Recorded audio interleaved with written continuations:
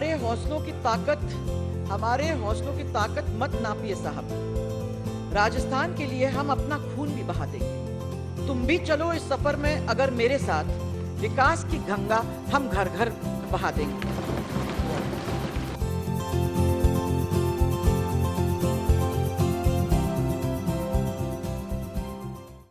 सबका साथ, सबका विकास, जहाँ से अपन ने शुरू किया।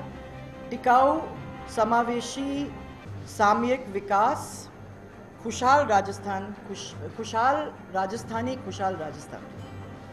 दैट आइडिया अब उसको सामने रख के हमने ये बजट बनाने की कोशिश की।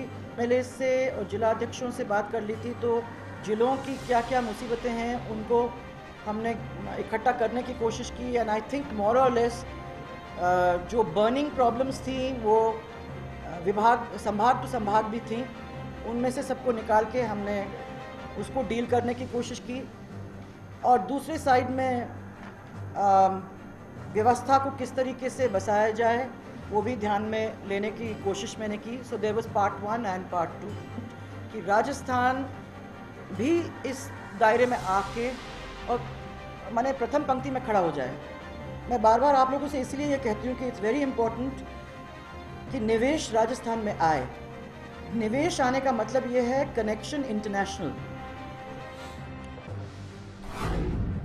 वसुंधरा राजे निवेश की बात कर रही हैं तो निवेश पर भी बात करेंगे। रवि प्रकाश जी अलवर से है। नमस्कार। बताइए रवि जी क्या कहना चाह रहे हैं? हाँ सर मैं ये कहना चाह रहा हूँ यहाँ भी डोटार डोटार सर जी बैठे हैं कि मैं अलवर से हूँ। यानी कि सरकार ने जो घोषणाएँ करी जो हमारे यहाँ एक मिनी सचिवालय बनना था उसका काम बाधित हो गया केवल सरकार बदलने से। और जहाँ तक रोजगारों की बातें हैं जो कांग्रेस के टाइम में जो नियुक्तियाँ निकाली गई थी और तकनीकी त्रुटि न्यायालय की त्रुटि के अंदर जो अलग गई थी ये अब तक उनको सुलझा नहीं पाए हैं। हम्म। और ऐसी विडंबना रोज बेरोजगारों के सामने खड़ी कर दी है कि ये तीसरे बजट से बड़ी उम्मीद थी लोगों को। अब चौथे में क्या कर देंगे? पांचवे में करने के लिए सरकारों के पास चलिए चलिए क्या करेंगे? बिल्कुल जानेंगे। खालिद कुरैशी साहब नमस्कार। सर नमस्कार। बताइए आपको क्या लगा बजट में? सर बजट बेहतर है। हम्म, जो पिछले साल जो बजट दिया गया था उससे बहुत बेहतर है। मेरी गुजारिश है आगे भी सरकार इसी तरह का अगली बार और बेहतर की उम्मीद कर रहे हैं।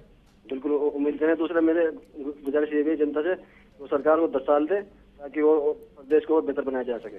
मैं गोठवाल साहब आपके पास में आना चाहूँगा। एक तरफ़ तो लगता है कि ठीक है लेकिन युवा खासतौर पर नाराज़ है रोज़गार के विकल्प इतने नज़र नहीं आए। हो सकता है कि आपने पाँच लाख नौकरियों की बात करके रोज़गार दिए हो और अट्ठासी हज़ार नौकरियाँ दी। लेकिन वो क्या जो पहले से इंतज़ार करें भर्तियाँ अटकी हुई है, इसको लेकर सरकार भी चिंतित है। बजट में कोई खास नज़रिया नहीं आया मुख्यमंत्री का। अगर आप देखेंगे हमारे बजट को तो जब जब भी मुख्यमंत्री जी का बजट, पहले पिछले बजट के अंदर भी मुख्यमंत्री जो युवाओं को लेकर रोज़गार के लिए चिंतित थी, वो आज भी है। और कई बार मुख्यमंत्री जी ने सदन में भी ये बात कही कि जिस तरह के इश्यूज़ विपक्ष बार बार कोर्ट में जाके अटकाता है। अगर विपक्ष कोऑपरेट करे तो हम जनता के लिए आज भी लोगों के लिए रोज़गार विपक्ष नहीं अटका रहा है। जो आज। भी आप लोगों ने पुरानी जो नियुक्तियाँ आप ये बताइए आपके कार्यकाल के समय आपने कितना रोज़गार दिया?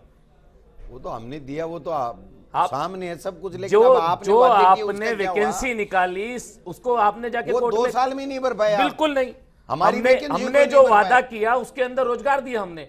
कहाँ आप डायरेक्ट? इनडायरेक्ट छह लाख आप ही बता दो मुख्यमंत्री जी क्या बताएँगे कहाँ कहाँ दिया बता बिल्कुल बताएँगे हम। छह लाख आइए बैठिए हमारे साथ। नहीं, अभी हम आपको बिल्कुल देते हैं लेकिन अश्विनी जी।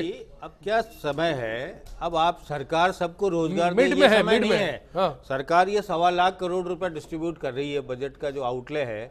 इसमें जो रोज़गार पैदा होंगे अपने आप ढूंढिए आप।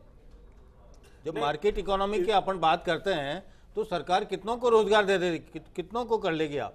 आप अपने आप सवा लाख करोड़ रुपए कम अमाउंट ये ये प्रैक्टिकल अप्रोच हुई लेकिन जो वादे हैं स्वराज संकल्प की बात हो रही है उस पर टारगेट नहीं करना चाहिए भूल जाना दुनिया चाहिए। में जब फ्री आपने मार्केट इकोनॉमी के मॉडल को अपना लिया है हम्म। तो अपने आप आदमी काम ढूंढता है सरकार पैसा बांटती है उसका बेस बनाती है और वो उसमें से ढूंढता मतलब, सोसाइटी काम करे इस पे प्रैक्टिकल अप्रोच में और पॉलिटिकल अप्रोच में फ़र्क है यहाँ हाँ वो तो कभी मेरे ख्याल से हो ही नहीं सकता आप जी इसमें है ना मेरे को जो लगता है कि जैसा कोठारी साहब कह रहे हैं बिल्कुल सही है। सरकारी क्षेत्र में आप कितने लोगों को रोज़गार दे दोगे?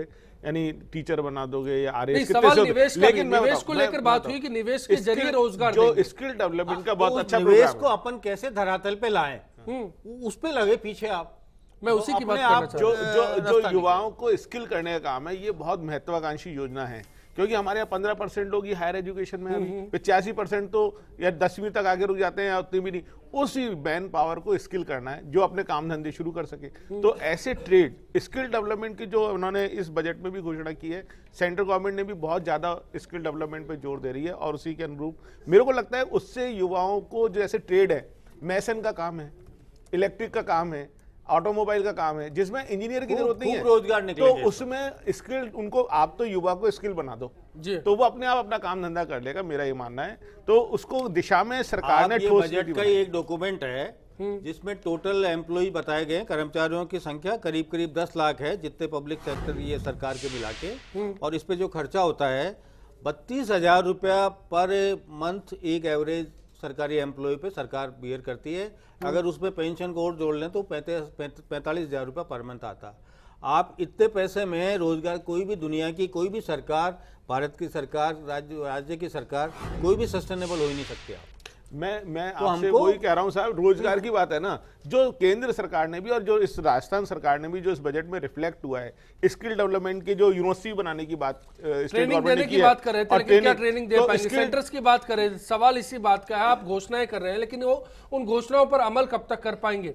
आपने शुरुआत में कहा संकल्प पत्र में कहा सिंगल विंडो सिस्टम लाएँगे और इस तीसरे बजट में जाकर ये बात हो रही है कि हम जिला स्तर तक सिंगल विंडो सिस्टम खोलेंगे। लेकिन क्या अगले दो बजट में ये पूरे हो पाएँगे? सवाल इस बात का है। ये सिंगल विंडो सिस्टम का जो जहाँ तक बात है ये जो लाल फीता शाही है जो हर्डल्स हैं जो हमारी सरकारी हाँ, हर्डल्स किसी भी तरह से हो, सरकार इसको की दूर करना तो चाहिए। आज जो इंडस्ट्रियलिस्ट आते हैं वो यहाँ से परेशान होकर जा रहे थे। ये लगातार बहुत सालों की बातें हैं। लेकिन अगर इसको कोई प्रभावी योजना जो सुधरी मैंने शुरू में कहा कि बजट का जो रिफ्लेक्शन है वो लोग मैं उससे पहले की बात करूँगा तो निवेश की निवेश की बात करूँगा दो दर्शकों के बाद की बात है, तो जी के पास आऊँगा वो सवाल लेके। मैं रोकना चाह रहा हूँ सक्सेना साहब आपको। कृष्णा जी हैं जयपुर से और विजय सोनी जी जयपुर से हमारे साथ हैं। कृष्णा जी नमस्कार। कॉलर डिस्कनेक्ट हो गए। विजय सोनी जी बताइए क्या कहना चाह रहे हैं? नमस्कार। सर नमस्कार सर पसंद नहीं आया। बजट तो जनता पे तो हमेशा बाहर ही पड़ता है सर। कांग्रेस क्या करती है या बीजेपी क्या करती है? हमारे व्यापारी लोग हड़ताल पे बैठे हैं सर। तो कोई ऐसी कोई अच्छी चीज़ हो जो जनता के हित में हो जनता के हित में तो कुछ आता नहीं है सर ज़ाहिर है सात दिन से ज्वेलर्स हड़ताल पर है लेकिन उससे पहले निवेश को लेकर मैं बात करना चाहता हूँ। पानी बिजली और इंफ्रास्ट्रक्चर ये किसी भी निवेश को लाने के लिए एक राज्य में बुनियादी सुविधाओं की ज़रूरत होती है। क्या मुख्यमंत्री वसुंधरा राजे इस बजट के ज़रिए आपको लगता है बुनियादी सुविधाओं पर ज़ोर देने की बात कहती हैं वो मुहैया भी करा पा रही है?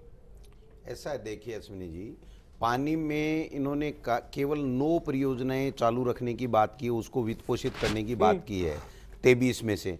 अब आप देखिए एक भी तीन साल में इन्होंने कौन सा प्रोजेक्ट लाए पानी के लिए? ये नहीं ले पाए।